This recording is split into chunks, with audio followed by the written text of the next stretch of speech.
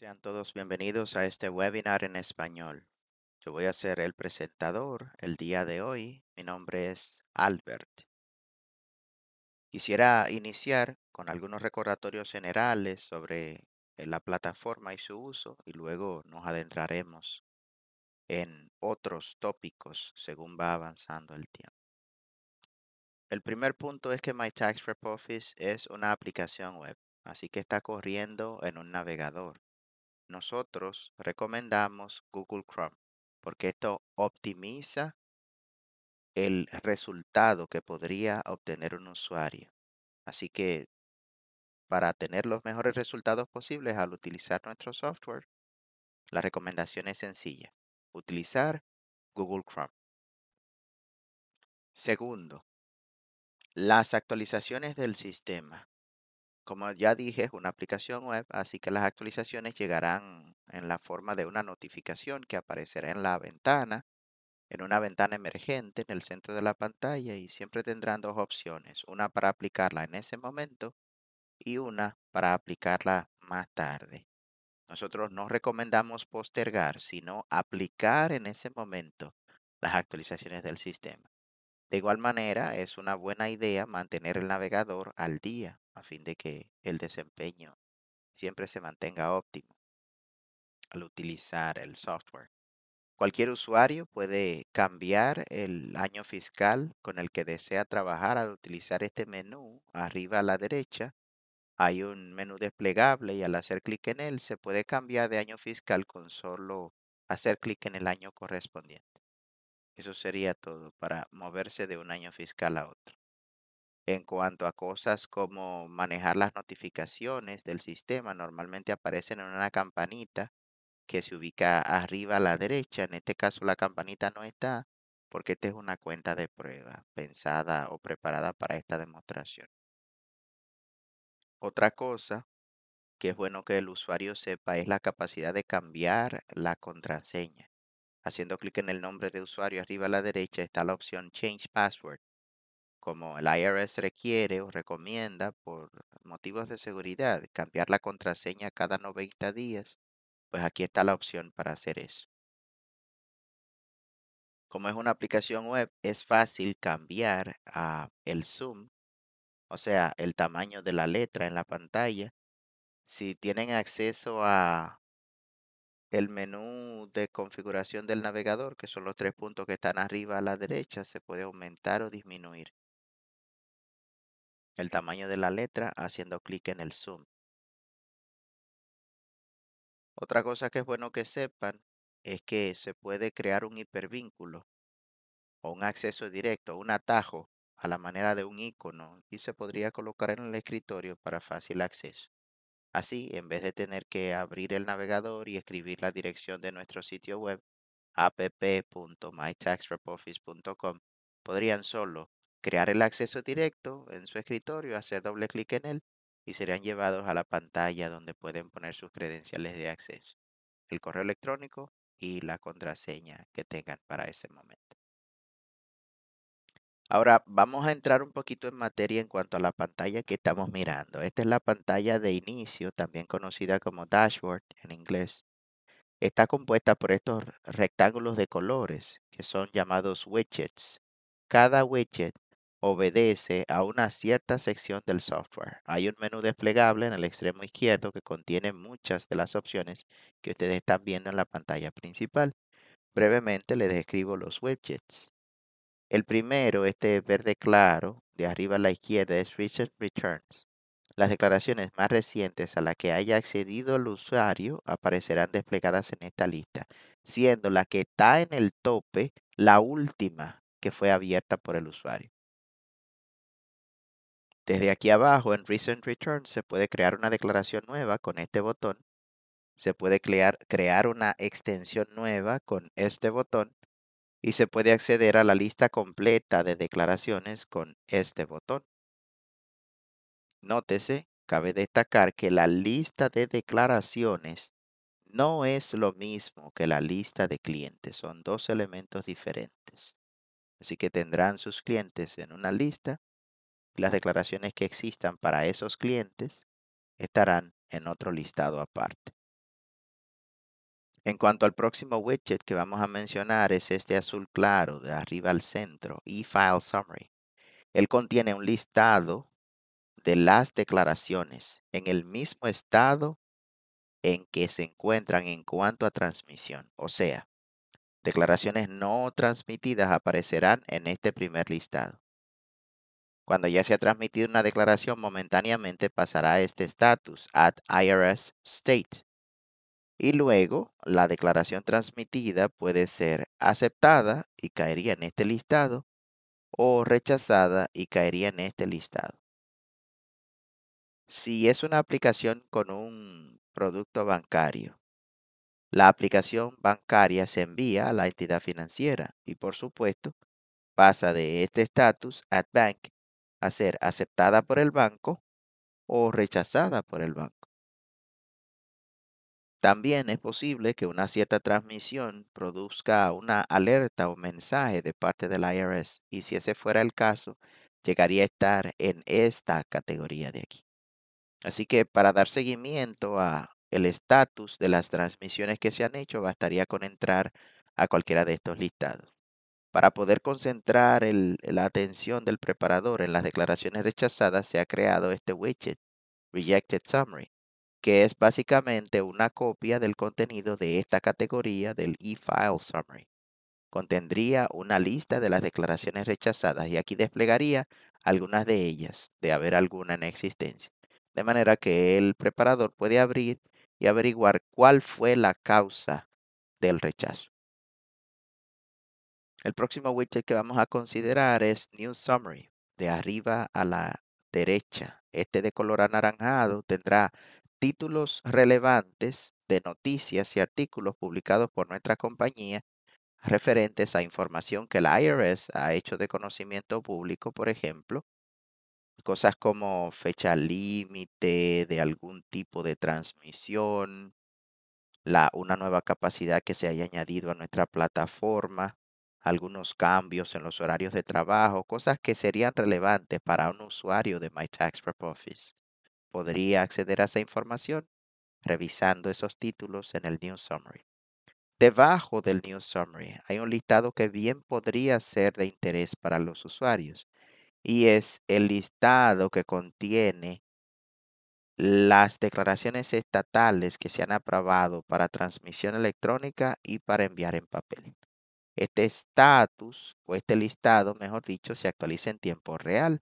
Se requerirá seleccionar un tipo de declaración, como ya vieron, seleccioné la 1040 y un estado. En este caso voy a elegir California para este ejemplo. Y ya me dice que California ha sido aprobada para transmitir electrónicamente las individuales, que se puede transmitir por sí sola porque es un standalone state o un unlinked state, pero por el momento, hasta la fecha, no se puede enviar en papel o sea, la forma que se imprima a partir del software, me refiero.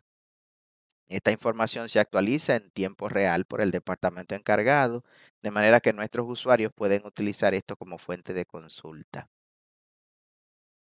Otro widget que vamos a describir es este de abajo a la izquierda. El Quick Return Search o eFile Status es un buscador. Cualquiera de los criterios que están señalados en este menú desplegable pueden ser utilizados para encontrar una declaración. Y al encontrarla, por ejemplo, ahora vamos a buscar a una de las que ya existen, Larry Landlord, que es una declaración de prueba. Al abrir este menú, en las dos primeras pestañas encontraremos información detallada sobre el contenido de la declaración. Ingreso ajustado, información personal, créditos solicitados, reembolso, monto adeudado, cosas como esas.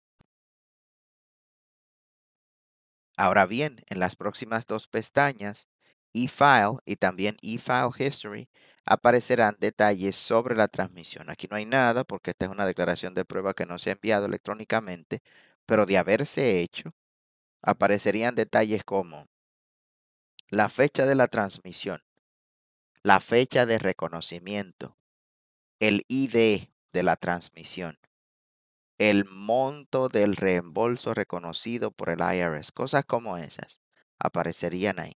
Y en eFile History aparecería un listado de todos y cada uno de los intentos por transmitir dicha declaración electrónicamente.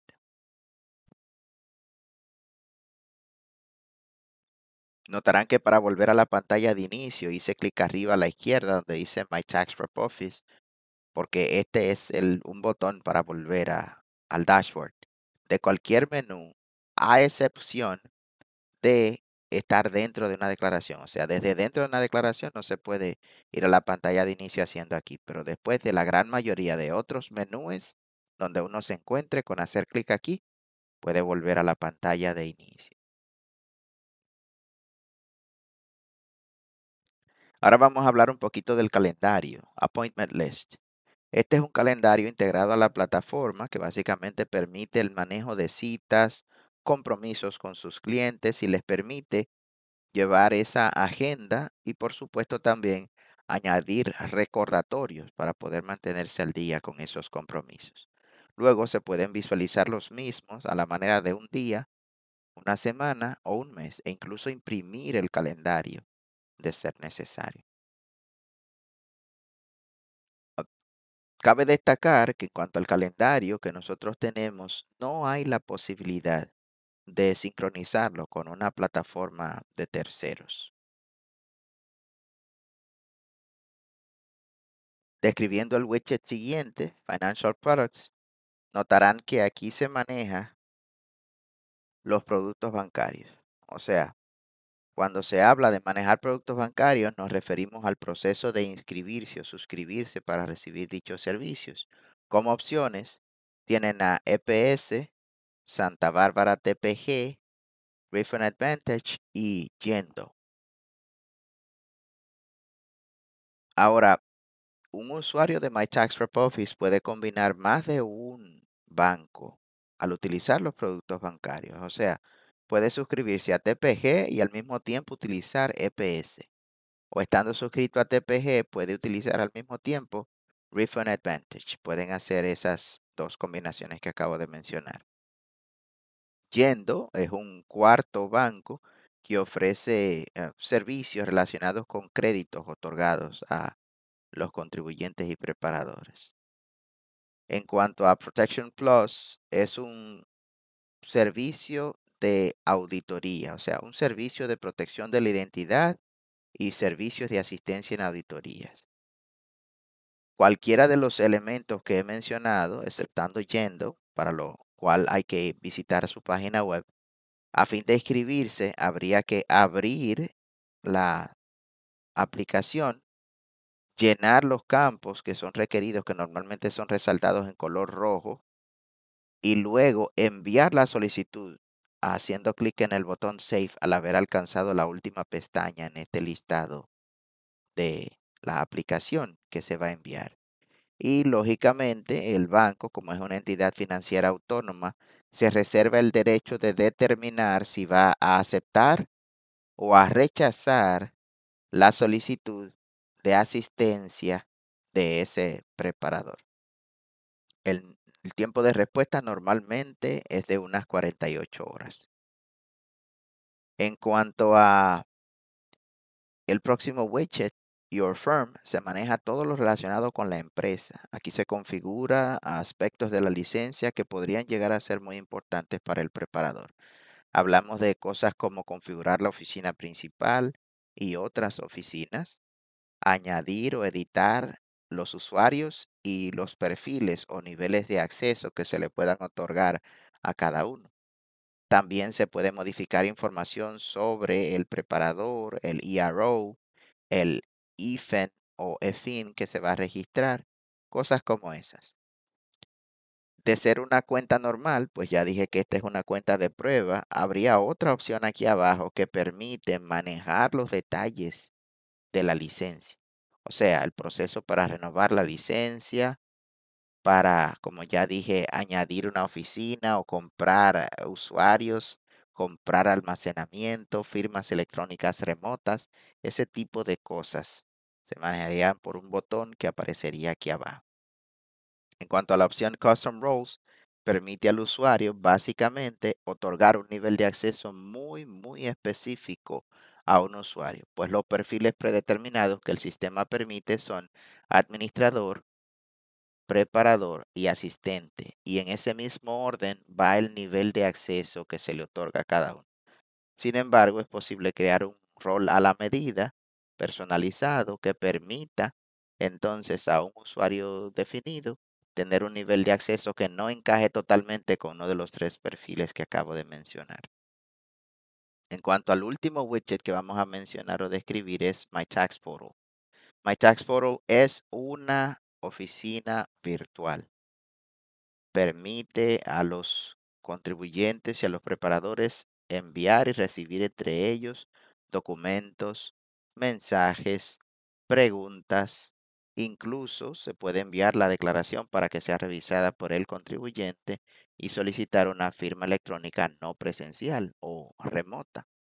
También es posible que los cuestionarios que se envíen al contribuyente correspondan con las preguntas que están en la 1040 y luego la información provista por el contribuyente se puede importar a la declaración, agilizando así el proceso de colección de los datos y entrada de datos que haría el preparador mismo.